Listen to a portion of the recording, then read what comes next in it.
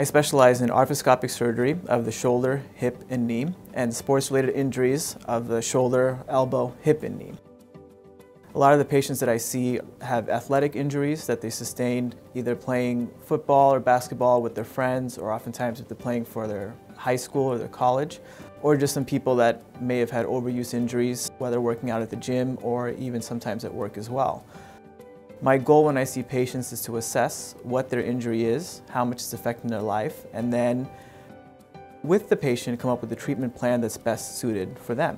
Sometimes some of the options that we use are a home exercise program. Oftentimes there are different injections that we can use to try to get their pain better.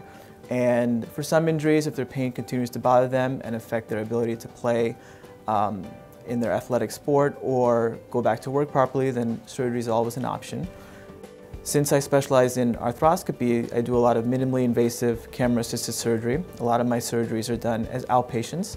We make small portals or incisions that are less than a centimeter in length.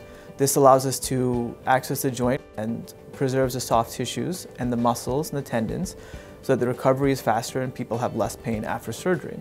The process just seemed seamless.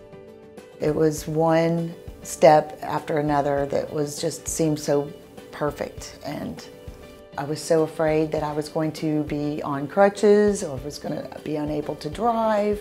I had never had a meniscus surgery through an arthroscopic procedure, but I was walking in with no crutches and no problems. I was climbing stairs that very weekend.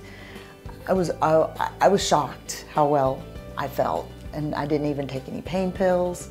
It was really quick. I was in and out in a matter of two hours, I think and uh, which was fantastic. I was home that night and everything felt better from there.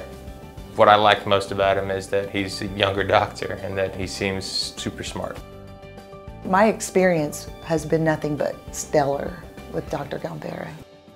The most fulfilling thing about what I do is when my patients get back to doing what they love doing, whether it's working out, running, playing with their kids, or playing for their football team having them come back and tell me that, Doc, I'm able to get back to what I love doing absolutely makes my day.